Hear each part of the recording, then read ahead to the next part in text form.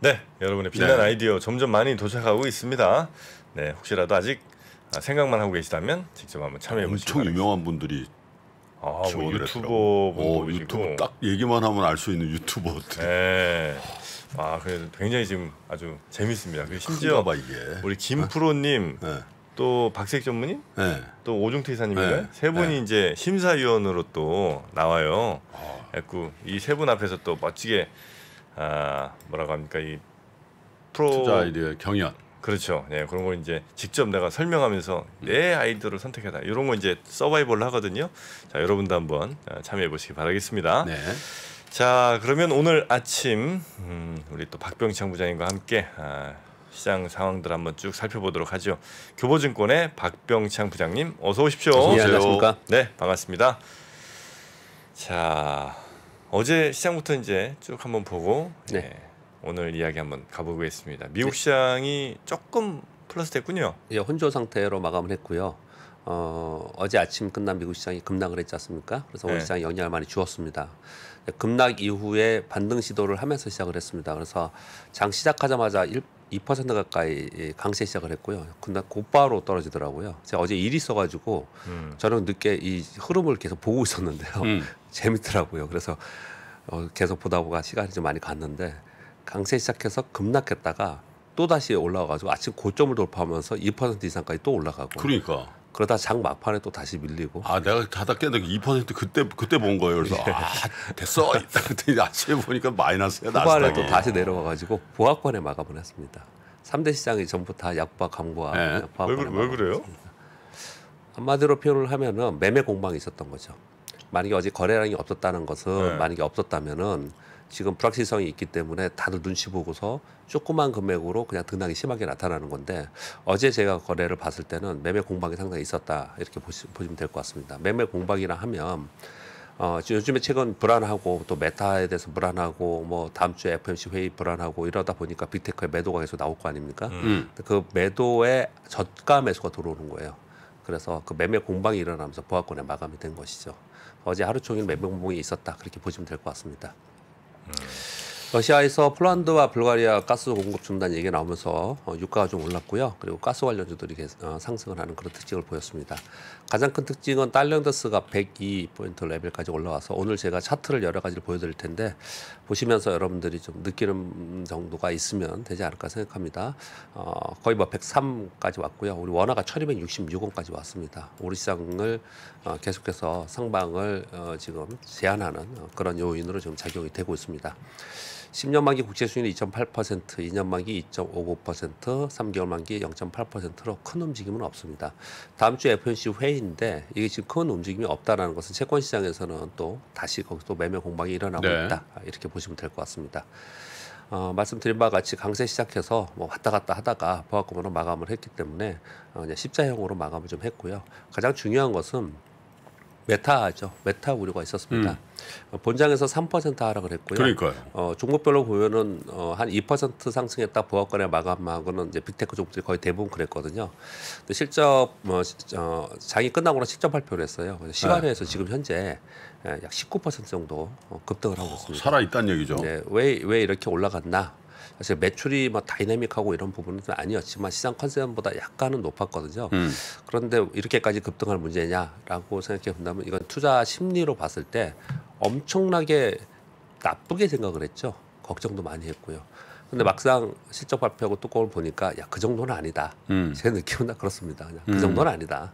하긴 매를 먼저 맞았죠. 예, 예. 주가로는. 예, 그러면서 19% 올라왔고요. 이게 올라오다 보니까 지금 시간에서 애플이 약 1.5%, 퀄컴은 약 7%, 엔비디아 음. 2.3%, 빅테크 종목들이 거의 2% 정도 다 네. 시간에서 상승을 하고 있습니다.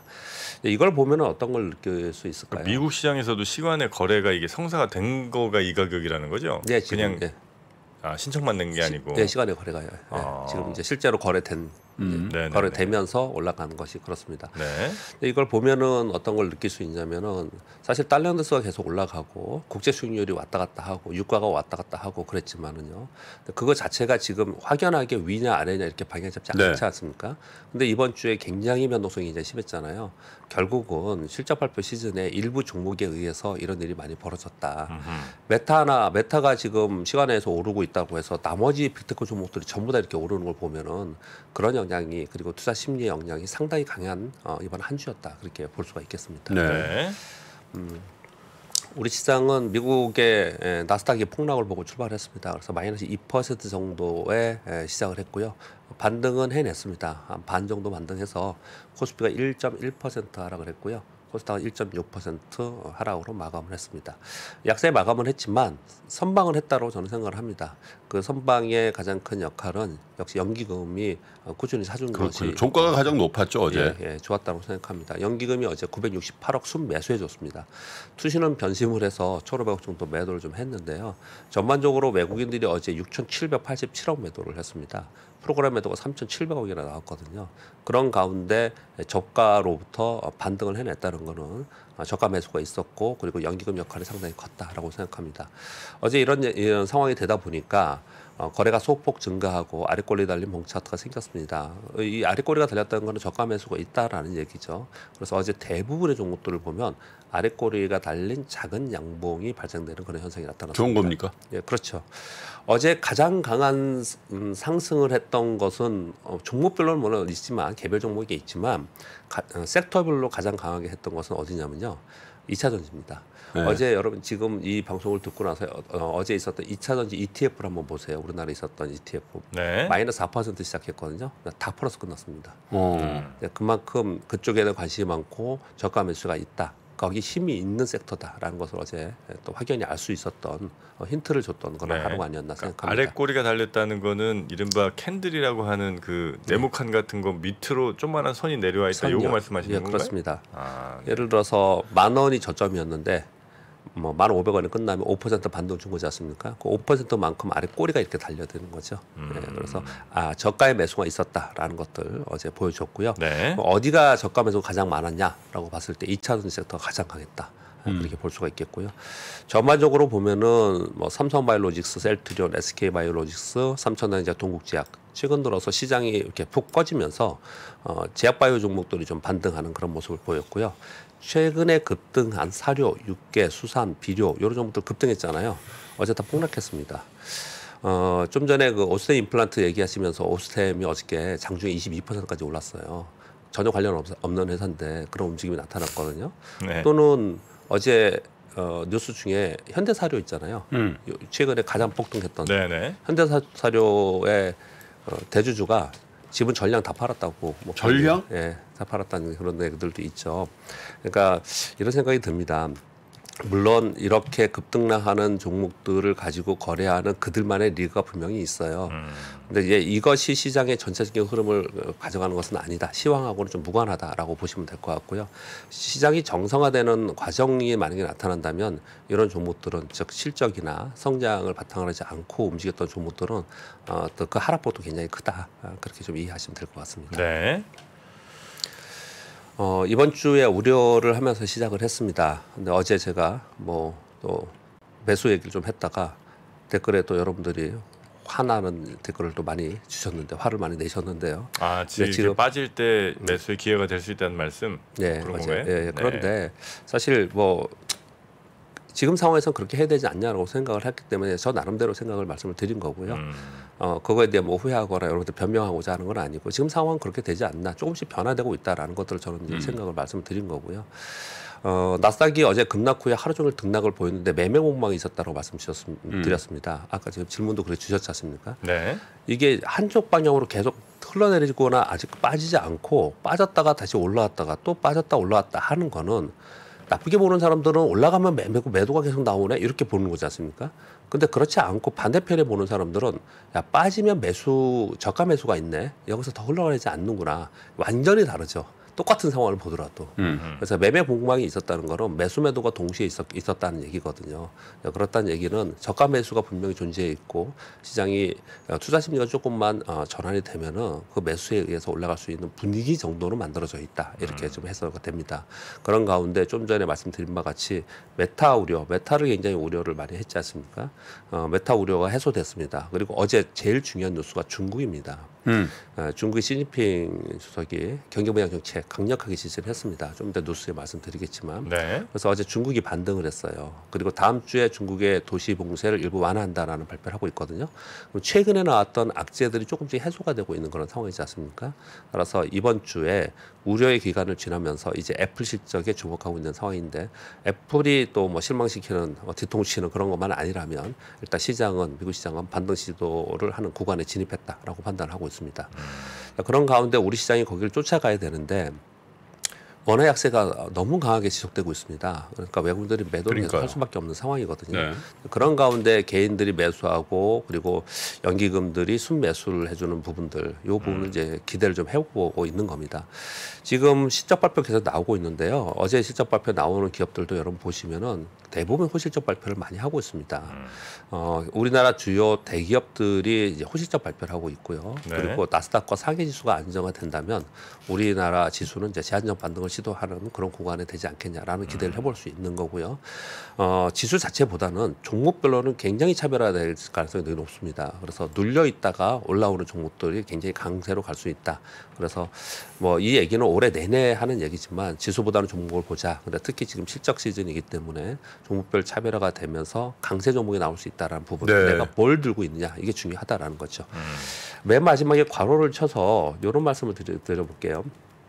여러분 요즘 실적 발표하는 거 정프롬도 혹시 보시나요? 실적 발표하는 거 이렇게 보면요. 네. 예를 들어서 뭐 삼성전기, LG노텍, 뭐 삼성 SDI, 뭐 현대차, 기아, 뭐 삼성자 실적도 발표하면은 음. 굉장히 호실적을 발표하고 향후 전망도 좋은 쪽은 주가는 안 좋고요. 음. 그리고 그동안에 굉장히 주가가 많이 올랐던 데는 뭐 기계니 뭐 철강이 실적이 안 좋아요. 음. 되게 그러니까 우리 시장 도대체 뭐냐 이렇게 얘기하시는 분들이 이제 많이 있거든요. 근데 그거는 전반적인 시장의 시황과 연관되어 있고 그리고 스타일 펀드들의 섹터와 연관되어 있는 부분이 상당히 부분이 좀 있습니다. 근데 이렇게 이 말씀을 드리는 이유는요.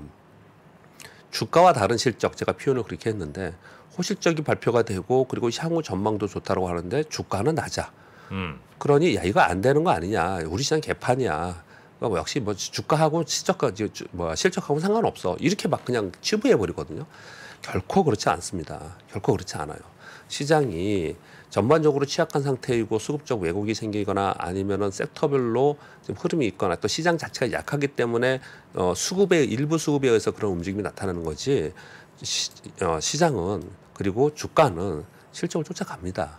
어, 그것을 믿고 가야 되는데 지금 현상이 이렇지 이렇 그렇지 않다고 해서 어 뭐 실적 호실적 발표했는데 전망도 좋은데 주가는 안 좋은데 야 이거 말 버리고 지금 뭐 다른 데 가야 된다 이런 건 저는 아니라고 생각을 합니다. 그러니까 지금의 상황이 이런 것이지 조금만 길게 흐름을 놓고 보면은 결국은 좋은 실적과 좋은 전망이 있던 기업들은 자기 자자 살아갈 것이다. 네. 네, 그렇게 보여지고요. 근데 그렇게 되는 타이밍이 언제냐 이런 게 이제 중요합니다. 사실 우리나라에 있는 대기업에 있- 특히 IT에 있는 기업들이 호시적 발표하는데 못 가는 이유는 환율 영향을 굉장히 많이 받는 거고요. 그러니까 환율에 영 향을 주는 것은 달러데스, 달러데스는 또 유로화 뭐 이런 것도 영향을 주는데 좀 이따 제가 차트를 말씀드리도록 네. 하겠습니다. 뉴스 몇 가지만 짚고 넘어가겠습니다. 오스테 임플란트 거래 재개는 아까 뉴스함에 주셨고요. 그래도 저는 언급을 드려야 될 것을 빼지는 않았고요. 예, 이건 중요하니까요. 오스테 임플란트가 연초에 첫날 저 제가 방송할 때 방송할 때 이거 뭐 장중에 속보로 나와가지고 기분 되게 언짢았지 않습니까? 그래 그랬었죠. 오스테 오스테 임플란트 거래 재개를 기준으로 해서 음. 시장이 좀 안정화되고 반등할 수 있다. 이, 이 사람 심리거든요. 네. 예, 이제 그런 기대도 좀 해볼 수 있지 않나 이런 생각도 아니 근데 이제 그렇습니다. 박병창 부장님이나 저나 뭐이이 업계에 오래 있었고 주식사 네. 오래 했잖아요. 근데 어떤 이벤트가 발생하면 되게 기분 안 좋은 이벤트들이 네. 있어요. 그래서 이제 아마 둘이서 그런 얘기 했던 기억이 나거든. 1월 4일입니까? 왜? 예, 예. 아 이런 왜냐하면 이 규모가 너무 컸거든. 사실 네. 최대예요. 상장 기업 중에 이게 아, 2천 횡령 사건 네, 2,200억. 2,200억이. 근데 그게 2022년 첫날 아침에 딱 나온 거야. 그래서 그러니까. 야 이거 만만치 않은데 그러고 나서 계속 악재가 나왔잖아요. 그래서 네네. 아까 에, 박병창 부장님께서 얘기한 아무 근거는 없죠 사실 이게 네. 거래 제약이 된다고 장이 네. 안정되는 네, 네. 그 연관관계는 없는데 네. 느낌상 이제 네. 그랬으면 좋겠다라는 네. 얘기도 한번 해보는 거예요 우리가. 맞습니다. 네. 네. 어, 아까 제가 시황 얘기하면서 가장 중요하다고 말씀드렸던 것이 어제 중국 시진핑 주석이 경기 둔화, 지금 이제 중국의 경기 둔화 우려를 하고 있지 않습니까? 그래서 인프라 투자 강화에 직접 지시했다라는 게 월스트리트저널의 뉴스가 나왔습니다. 이제 워딩이 재밌, 재밌습니다. 경, 중국의 경제 성장률이 미국보다 높아야 되지 않냐? 미국보다 높게 만들어라. 이랬다는 거예요. 언제 때 저런 얘기가 그러니까 나왔지? 말이에요. 그래서 제가 물음표 이렇게 하고 이게 표시를 했는데 워딩이 이제 재미있습니다. 그런데 중요한 거는 중국은 어, 계획 경제이고 사회주의 국가입니다 아직. 그래서 중국의 이 정책적인 변화가 생겼을 때 굉장히 전 세계적인 영향이 굉장히 컸습니다. 그래서 어제 이 뉴스는 굉장히 중요한 뉴스라고 저는 생각을 합니다. 그래서 어, 경제 성장률을 높이려는데 가장 빠른 게 뭐냐? 성장률의 GDP에 가장 직접적으로 반영되는 거, 뭐 내수 소비를 늘리고 이런 거 굉장히 어렵잖아요. 간접적으로 해야 되고, 근데 직접적으로 반영되는 건 인프라 투자. 그래서 인프라 투자를 강력하게 지지했다라는 것이 어제 발표가 되었고, 그래서 어제 중국 시장이 2.5% 상승했고, 미국에 있는 전혀 인프라와 관련이 없는 미국에 있는 뭐그 인터넷 그런 기업들이나 이런 어, 중국의 기업들도 어제 상승을 하는 어, 그런 계기가 되었습니다. 네. 이 부분은 어, 향후에 정말로 이렇게 계속 강화된다면은 어, 전 세계 시장에 상당히 영향을 줄 것이다라고 저는 생각하고 있습니다. 삼성 SDI가 호시적 발표를 했는데요. 원통형 배터리 때문에 그렇다. 요 얘기는 몇 차례 말씀드렸습니다. 그런데 뭐 저는 요런 내용을 몰랐는데 요 내용을 읽어보니까 아, 충분히 여기 원통형 배터리에 계속해서 관심을 갖는 이유가 있구나라고 생각이 드는 뉴스가 있었습니다. 전동 공구용 배터리가 글로벌이 2등기 20%인데요. 시장 점유율이 삼성 SDI가 40% 들어갑니다. 거의 독주인데요. 어, 전동 공구용 배터리라고 하면은 예를 들어서 무선 청정기라든지 뭐 이런 거 있잖아요. 전동 음, 공구들. 얘네들이 옛날에 유선이었는데 다 무선이지 않습니까? 그러다 보니까 원통형 배터리 수요, 수요 가 엄청나게 늘고 있다라는 거예요. 이게 뭐 근데 큰가요? 그, 그 다음에 그 뉴스가 저도 그러니까 이걸 보고 놀랐습니다. 원통형 배터리 수요가 현재 상황에서 전기차가 50%인데 전동공구가 35%랍니다. 전동공구 뭐예요? 이렇게 쭉 뭐 이렇게 어 보시에서 만드는 그- 뭐, 그렇죠. 그런 거 예, 큰 예. 거예요. 예. 못 바꾸고 그런 거. 예, 예, 예. 몇, 몇 개나 된다고 근데 근데 지금 현재 수요가 사, 전기차가 50%인데 전동공구가 35%라는 거예요. 그러니까 상당 부분 이제 아, 무선으로 그 전체 원통형 배터리의 예. 반은 예. 차에서 쓰고 차, 예. 3분의 1은 전동 공구가 쓴다고요? 그럼 비중이 굉장히 높은 아, 거죠. 그렇게 많이 써요? 네, 그렇게 높은 거죠. 아니 근데 정프로는 이거 평생 이런 거 안 해봐가지고 그런 거야. 아니 맞죠 왜? 안- 미국의 그 전동 공구 그거 있잖아. 종합적으로 이거 앞에 바꿔가지고 하는 네, 네, 거. 어? 그게 1년에 엄청 팔린다. 아니 그러니까 그거 많이 팔리는 건 아는데 네. 예를 들면 전기차 한 대에 들어가는 게 예를 들어 그 원통형 뭐한 네. 천개 그렇죠. 들어간다고 어마하게 치면 들어가죠. 예. 전동 공구에 한두 개 들어갈 거 아니에요. 근데 이런 거죠.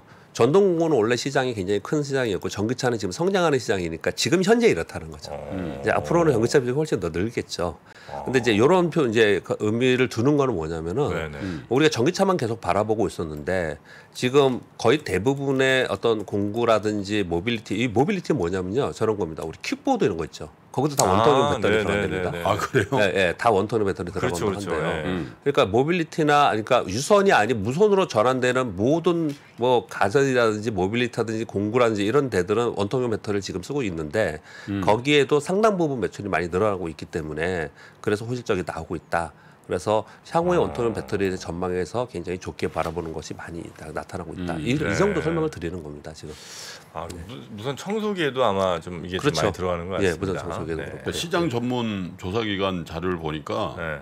미국 hand power tool이라 그래 그걸 전동공구 전체 네. 그거 아. 그거가 시장 규모 533억 달러래요. 60조, 70조. 네. 네. 그러니까 이게 굉장히 큰 시장이라니까. 그렇죠. 네. 우리는 잘 우리는 이거 이거 직접 하는 거에 대해서 사실 저- 저도 안 해봤거든요. 근데 미국 사람들 이거 그냥 일상적으로 많이 해. 예, 그뭐그 필수죠 미국에서는 뭐 그런 것들이. 예. 알겠습니다. 그 요즘에 이제 주요 대형 IT 기업들이 뭐 실적 발표하고 IR 많이 하고 있는데요. 이제 L전자 얘기 처음에 나오고 있는 것 중에서 다른 내용이 하나 나온 게 있었습니다. 전장 부품 매출 여기 적자였거든요. 올해 한 8.4조 정도 추정하고 네. 올해 흑자 전망한다는 발표가 있는데요. 이게 지금 전장 부품이기 때문에 완성차들이 지금 완성차 반도체 부품 부족으로 인해서 지금 차- 생산 차질이 있지 않습니까? 근데 이것이 이제 나중에 생산 차질이 본격화되면서 이제 문제가 없어지면은 실제로 어, 성장이 본격화되지 않겠냐 이런 어제 보고서가 있었는데 의미가 있어서 소개를 좀 드렸습니다. 그 우리은행 이슈는 혹시 안 갖고 오셨군요. 어, 예, 가져오지는 않았습니다. 그 우리은행 500억 횡령 말씀하신 네. 거잖아요. 그런데 뭐 금융권에 있는 거 그리고 금융권에 이런 일이 발생한다는 건 정말 진짜 오템 얘기할 때도 제가 말씀드렸지만 오스템보다 더 되는- 심각한 거죠. 말도 안 되는 상황이 좀 발생이 좀 돼서 은행에서 그러니까 예. 네. 500억을 개인이. 어. 이것도 뭘 한 거야? 그러니까 이제 오스템은 물론 이제 오스템도 심각한 문제긴 합니다만 오스템은 금액도 더 커서 문제기도 하지만 우리은행은 어떤 이런 금융 관리 그러니까 돈 관리를 더 철저하게 해야 되는 기관이라 예. 음. 500억이라도 훨씬 더 오스템보다 심각한 문제 같기도 야, 하고. 근데 이거는 진짜 심각하다. 예. 아 6년에 걸쳐서 횡령을 했는데 그걸 6년 모르고 동안 발각이 안 된 거야? 네. 그러니까 이거는 아. 오히려 더 오스템보다 더 심각한 거 아닌가 하는 생각이 살짝 들긴 하는데 어, 떤지를 모르겠습니다. 제가 그 얘기를 꺼내다 보면은 제가 금융업계에 있어서 아 과거에 금융업계에 이런 사고들이 되게 많이 있었거든요. 그렇습니까? 근데 그 이 방법도 되게 교모하고 많아요. 그런데 얘기하다 보면 방법이. 길어질 것 같아서 그냥 말을 안 이제 했는데. 오스템 있었고 올해 들어서 예. 있는 거 그냥 형- 형평성 때문에 다 얘기하는 거예요. 강동구청 있었고 어디? 강동구청 아 예. 계양전기 있었지. 예. 근데 계양전기는 또 그때 야이 계양전기 계양전기 회장님이 유명한 그 어? 영동의 그 유명한 자금 그, 그 그분이시잖아. 근데 이걸 했다. 야이 이 양반이 이거 대단하다. 이런 얘기를 막 했었고. 그 다음에 이제 우리은행 나왔대. 이게 야 이게 너무 많이 나는데 네. 상장사만 세 개 나온 거 아니야 이게 지금. 그러니까 이게 하여튼 뭐 우리은행 관련해서 오늘 분명히 뭐 얘기가 좀 많이 나올 것 같습니다. 근데 뭐 주가 자체는 뭐 모르겠습니다. 저 어떻게 될지 모르겠지만 개인적으로는 오스테 임플란트하고는 뭐 일단 심각성은 더 심각한데 음. 가격이나 주가 주식 측면에서는 그, 그렇게까지는 뭐 영향이 아, 거라 우리 은행은? 생각합니다. 그렇지 뭐 주, 주가에는 주가에 미치는 영향은 오스템보다 훨씬 작겠지. 그럴까요? 그러니까 저도 이제 전체 자산 비교해서나 뭐 아니면 네. 시총 비교해서 훨씬 뭐 이거는 작은 거긴 한데 금융기관이 이렇게 했다는 거는 더 큰 영향이 있나 생각이 이제 살짝 들었는데 여튼 금융 알겠습니다. 금융기관에 알게 모르게 많이 있거든요. 이런 일들이 아 그렇습니까? 여 어머 싹 전수조사 한번 해야 되나? 음. 어, 알겠습니다. 네. 이건 근데 내부적으로 그러면 발각이 돼도 그냥 쉬쉬하면서 넘어가는 경우가 좀 있겠군요. 잘 모르겠습니다. 그렇진 않지. 쉬쉬하면서 넘어갈 수 있는 일이 있고. 네. 예. 왜냐하면 이제 그게 밝혀지는 게 대부분 내부 감사라든지 네. 그 감독원 감사 이런 데서 이제 발각이 되거든. 음. 그러면 이제 조치를 하게 돼 있지. 그러니까 뭐 예를 들면 감사원에서 뭐 한 건 뭐 알겠지만 내부 감사에서 걸렸어요. 응. 한 20억 누가 슈킹한 게 걸렸어. 응. 그 쉬쉬한다고? 이게 이제 뉴스에 나오는 거는 내가 생각할 때 금융회사는 그렇게 안 해요. 그렇게 쉬쉬하면은 그 언제 그 요즘 비밀이 있나? 그러면 그 쉬쉬한 사람 다 나중에 집에 가 퇴사하고 집에 가 있는데 오라 그러지. 알겠습니다. 옛날에 좀 있었겠지. 자, 오늘 차트 좀 몇 개 좀 보도록 네네네. 하겠습니다. 여러분들 그냥 보시면서 제가 부연 설명 팁은 많이 하지 않도록 노력하겠습니다. 여러분 그냥 보시면 직관적으로 한번 느껴 보시는 걸로 좀 말씀을 좀 드려보도록 하겠습니다. 첫 번째 환율입니다. 자, 맨 처음에 화면이 달러였습니다. 2020년도에 그리고 2017년도에 있었던 103포인트 레벨 여기 지금 지금 어제 103 정도 와 있습니다. 지금 이게 달러인데스가 지금 여기 와 있는 그런 상황이고요. 그 다음에 달러인데스에 영향을 많이 주는 유로화입니다. 유로화는 떨어졌다는 유로화는 약세라는 얘기입니다. 달러 대비 그 유로화는 지금 5년 만에 지금 최저치로 와가지고 2015, 16년도에 최저치에 지금 현재 와서 거래가 되고 있습니다. 그 그다음 화면은 우리 원화입니다. 달러 대비 원화. 우리 원화는 이제 올라간다는 건 원화 약세이죠. 원화 약세입니다. 어, 2020년 팬데믹 때 올라갔을 때 한번 여기 1270원 여기 갔었고요. 그 전에는 어, 글로벌 금융위기 때 한번 그때 그때 떴었고요. 지금의 가격은 이제 그 정도의 지금 가격이 와 있습니다. 환율의 지금 상, 상황이 어느 정도 상황이고 어느 정도 위치에 와 있는가 이 부분을 말씀드리려고 했던 거고요. 그냥 직관적으로 여러분 느끼시면 될 것 같고요. 근데 여기에 저, 한 마디만 더 첨부를 드리면 지금 달러인데스가 또 갑자기 이렇게 많이 뜨지 않습니까? 이 달러인데스가 급격하게 올라오는 부분에 상당히 영향을 주는 것은 어, 인플레이션 영향이 굉장히 큽니다. 어, 왜냐하면 달러가 약세가 되면 미국의 인플레이션은 더 악화되지 않습니까? 그래서 달러 강세되는 역할이 상, 상당히 부분 이건 제가 개인적으로 생각하는 게 아니고 옐런 장관의 입을 통해서 그런 얘기들을 했어요. 그래서 달러 강세가 되면서 인플레이션을 좀 방어하려는 그런 노력들이 좀 있었거든요. 그렇다면 달러가 언제쯤 약세가 될 거냐고 판단해 본다면 그런다면 뭐 우크라이나 전쟁이 좀 뭐 종료나 아니면 휴전이 되면 달러가 좀 약세로 반- 되겠죠. 이게 한, 한 포인트고요. 또 하나는 인플레이션 지표가 둔화되기 시작하면 달러가 떨어질 수가 있겠죠.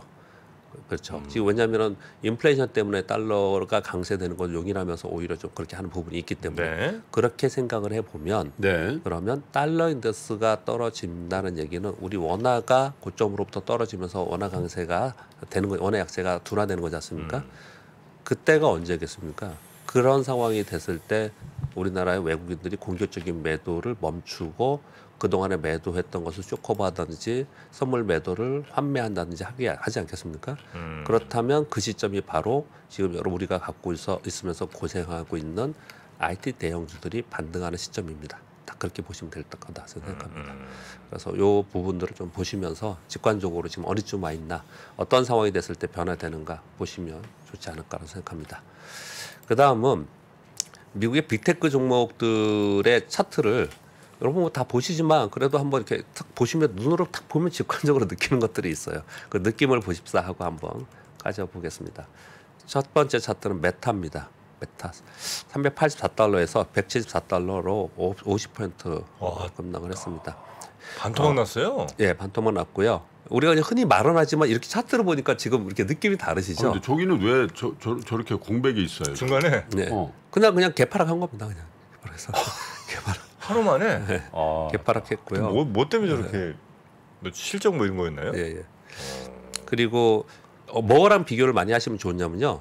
어, 2020년 팬데믹 때 가격이 얼마였냐 이걸 비교하시는 것도 굉장히 중요합니다. 20년 네. 팬데믹. 예, 예. 이게 이- 그 팬데믹 때 이게 147달러였습니다. 그러니까 거기서 384달러까지 거의 갔다가 거기까지 왔네요. 예, 지금 여기 와 있는 상황이고요. 그 다음 화면은 넷플릭스입니다. 어, 저 뭐야? 예, 700달러에서 188달러로 마이너스 70 몇 퍼센트 좀 되죠 지금 이게 애플은 지금 넷플릭스요. 팬데믹 때보다 더 안 좋은 가진 거예요? 예, 훨씬 안 좋지. 예. 예, 지금 이게 지금 넷플릭스의 그 다음에 차트입니다. 사실 저건 팬데믹 수혜주야. 예, 그렇죠. 뭐 그럴 수. 있죠. 그렇죠. 예. 그렇죠. 그다음은 뭐 그다음은 이제 크게 의미 좀뭐 이렇게 등락은 없지만 이 아마존입니다. 아마존. 아마존 팬데믹 때 1,600달러였고요. 저 위에 올라갔다 박스권으로 계속 있다가 최근에 하단 박스권에서 등락하고 있는 그런 상황입니다. 다음에 애플입니다. 애플 팬데믹 때 뭐 110달러 정도 있었고요. 애플도 지금 박스권에 있죠. 그렇게 보시면 될 것 같고요. 애플. 예. 그다음 엔비디아입니다. 이 엔비디아 엔비디아? 밑으로 좀 흐르고 있죠. 엔비디아 이렇게 많이 빠졌어요? 네. 엔비디아도 346달러에서 이거 액면 분할한 겁니다. 아, 주식 분할 346달러에서 184달러까지.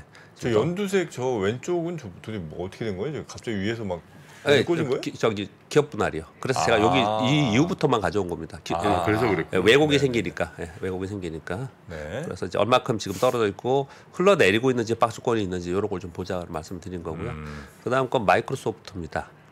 마이크로소프트는 이번에 호실적 발표하면서 어제 본장에서도 마이크로소프트가 5% 올랐습니다. 마이크로소프트가 제, 최고다 이런 얘기들이 나오는 거예요. 그나마 예, 좀 예. 그런데도 예. 지금 주가는 흘러내리고 있네. 예. 그다음 거는 마이크론 테크놀로지입니다. 마이크로. 예, 마이크론 테크놀로지는 특징이 추세적으로 상승했다, 추세적으로 하락했다가 이런 흐름을 보이죠. 그래서 얘는 추세가 굉장히 중요합니다. 음, 한번 추세 꺾으면은 어, 그 추세대로 좀 가는 그런 특징을 좀 보이죠. 왜냐하면 반도체가 산업이 시크리컬이기 때문에 그렇습니다. 이제 마이크론 테크놀로지 필라델피아 반도체 지수하고 지금 거의 비슷하게 움직이고 있죠. 어, 요걸 보면서 우리나라의 이제 테크주를 여러분 많이 갖고 계시기 때문에 특히 반도체 많이 갖고 계시기 때문에 참고로 하면 되지 않을까라고 아니, 생각합니다. 미국 주식 중에 뭐 물론 또 더 잘 나간 친구들이 많이 있긴 하겠습니다만 네. 생각보다 대표주들이잖아요 저기가 네, 대표주 가져온 겁니다. 마가 빵이라고 할 것. 대표주들이 근데 썩 예. 아름답지는 않네요. 지금 이걸 보시면요. 넷플릭스나 메타나 이런 쪽의 차트는 우리나라와 아주 유사한 차트들이 좀 있어요. 어. 그게 뭐냐면 네이버, 카카오 이런 데가 좀 비슷해요. 그런 데나 뭐 카페24나 이런 데들 있잖아요. 그 인터넷으로 이제 뭐 플랫폼으로 사업을 하는 쪽. 야, 근데 넷플릭스는 넷플릭스 주식을 갖고 있는 사람들은 넷플릭스 보기도 싫겠다. 어? 넷플릭스 보다가 화가 막 치밀어 오르시네. 리모컨 던져버리네. 씨. 그럴 거 아니야. 여, 넷플릭스 영화 보다가 어? 뭐? 월에 월에 월에 10불씩 나가는 게 문제가 아니잖아. 저 오늘 나갔던데요, 돈. 오늘 아침에 딱 아, 새벽에 결제- 보니까 결제됐어요? 네? 결제됐는데. 아, 나도 저기 빨리 저기 바꿔 사야 FTV? 되는데 아 해- 했는데 해지를 어떻게 하는지 몰라가지고 지금. 아 제가 그 해제 만듭니다 제가. 제가 만들 거예요. 아, 해제. 마음 먹은 지는 꽤 됐어. 예, 그 이분들만 잘 모아도 될 것 같아요. 알겠습니다. 하여튼 뭐 어, 미국 시장 까지 한번 예, 대표 주식들의 주가 흐름까지 한번 네. 살펴봤습니다. 그래프로 보니까 훨씬 더 눈에 잘 들어오네요. 네. 자 우리 박병희 시장 부장님 고생 많으셨고요. 어, 내일 아침 뵙겠습니다. 고맙습니다. 네, 감사합니다. 오직 위즈덤 칼리지 수강생들을 위한 프리미엄 특전 릴레이를 소개합니다. 올 한해 지혜의 풍요와 더불어 삶을 풍성하게 보내실 수 있도록 3프로TV가 전격 지원해 드립니다. 의자계의 명품 허먼 밀러 1년간 쭉 50만 원 특별 지원해 드리고요. 5월에는 무려 3개의 문화 특전을 더 쏘겠습니다. 1분 전석 매진의 신화 뷰티풀 민트라이프 페스티벌 초대권 증정과 화제의 기대작이죠. 영화 범죄도시 2 최초 시사회 티켓도 드립니다. 끝나지 않았습니다. 오직 위즈덤 칼리지 수강생들을 위한 고더코 프로의 프리미엄 골프 특강도 무료로 제공해 드립니다. 최고의 경험을 아낌없이 제공해 드리는 프리미엄 교육 프로그램 위즈덤 칼리지에서 만나보십시오.